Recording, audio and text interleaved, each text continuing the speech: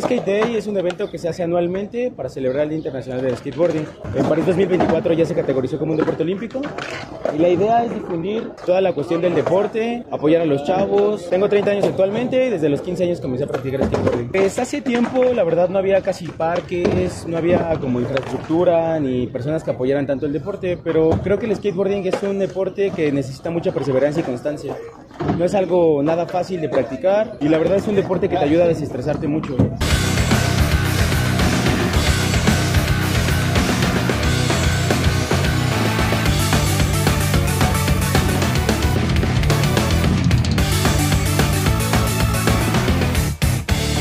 Apenas estoy empezando, llevo como unos cinco meses más o menos. Conocí a uno que le dicen Des, por él, con, él empecé a salir y así. Pues la verdad sí está, está chido, la verdad, porque ya no me había divertido así y está chido y es entretenido desde que la bandita se junta y así. No, no, afortunadamente no, no, pues los golpes como siempre, ¿no? Que te pegan la, en la espinilla o así, pero todo tranquilo.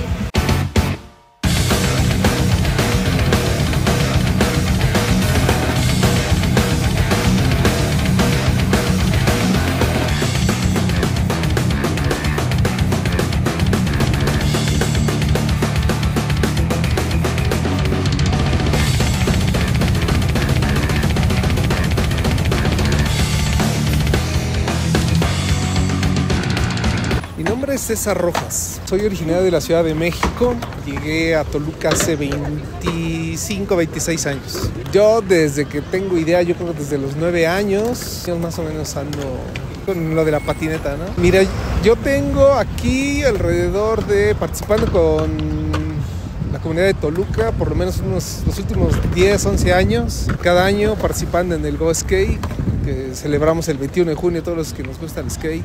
Es una onda que viene desde Estados Unidos, California, y esos días se empezó a celebrar el 21 de junio, el día del, del Skate.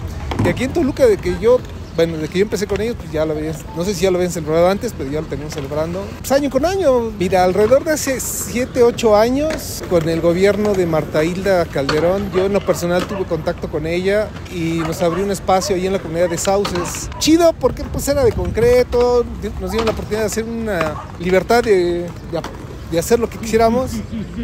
Ellos obviamente aportaron, pero digo, no te voy a negar que no ha habido apoyo del gobierno, sí lo ha habido, poco, pero ha habido.